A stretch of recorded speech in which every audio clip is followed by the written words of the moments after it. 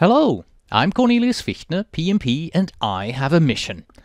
I want to make earning PDUs as easy, simple, and straightforward for you as possible. And in order to achieve this mission, I have created the PDU Podcast.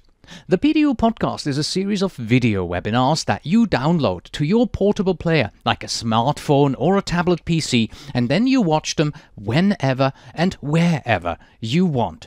For example, you can watch them in the gym while you are walking the dog, doing your household chores, or while you are relaxing at the beach. But the best thing about these webinars is that each of them will earn you at least one Category A PDU, which are the PMI pre approved PDUs. So, when it comes to maintaining your PMP certification, then the PDU podcast is the zen of earning your PDUs.